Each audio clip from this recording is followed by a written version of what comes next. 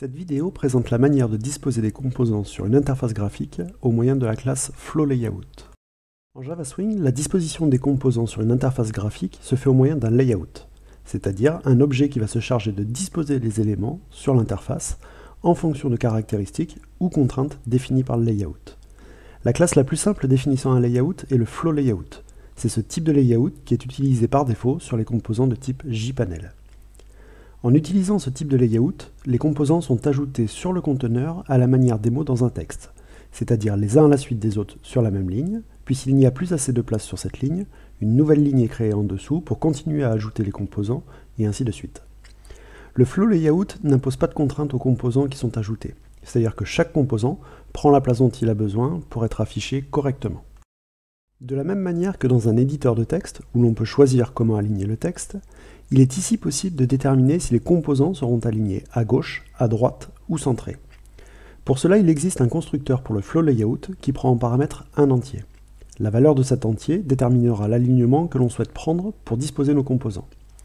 Les différents alignements possibles sont enregistrés sous la forme de static final int dans flow layout. Les valeurs possibles sont left, right ou center. A noter qu'il existe également un constructeur par défaut, où center est l'alignement défini par défaut. Enfin, par défaut, les composants sont ajoutés de gauche à droite, mais il est possible de choisir de les ajouter de droite à gauche au moyen de la méthode setComponentOrientation, utilisée par le conteneur qui va ajouter les composants. Cette méthode prend en paramètre un entier, dont la valeur déterminera si les composants sont ajoutés de gauche à droite ou de droite à gauche. Ces deux valeurs sont enregistrées sous la forme de static final int dans ComponentOrientation. Il est également possible de déterminer l'espacement que l'on souhaite entre les composants. Par défaut, cet espacement est de 5 pixels sur chaque bord des composants.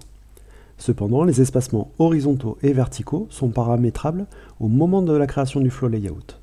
Il existe en effet un constructeur qui prend deux paramètres supplémentaires pour définir l'écart en pixels séparant deux composants. hgap définit l'espacement horizontal, alors que vgap définit l'espacement vertical en pixels. Voici un exemple d'utilisation du flow layout. Nous construisons ici un flow layout pour lequel les éléments seront centrés horizontalement sur l'interface. Nous définissons également que l'espace horizontal entre deux composants sera de 20 pixels, alors que l'espacement vertical sera de 0. Le conteneur dans lequel nous allons ajouter les composants sera un JPanel. Nous lui passons en argument le layout que nous souhaitons qu'il utilise pour disposer les composants dans son espace. Nous ajoutons ensuite les composants souhaités à ce conteneur. A noter que pour l'exemple, nous avons créé une méthode statique qui nous permet de créer des libellés basiques, numérotés par ordre de création et entourés d'une bordure pour montrer leur place sur l'interface. Nous avons également choisi de leur attribuer une taille préférée qui sera conservée par le flow layout. Enfin, nous paramétrons le JPanel utilisé de manière à ce que les composants soient ajoutés de droite à gauche sur l'interface. Le résultat obtenu est l'interface ci-dessous. Notez que les composants ont pris la taille dont ils avaient besoin, celle que nous avions définie dans la méthode GenerLabel, et ils sont espacés de 20 pixels.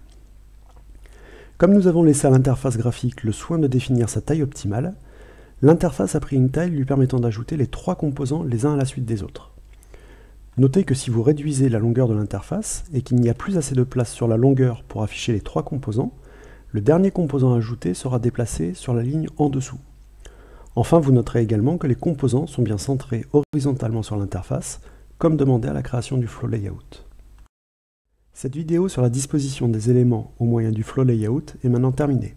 N'hésitez pas à nous envoyer vos questions ou commentaires sur la vidéo à l'adresse petitboutdecode.gmail.com.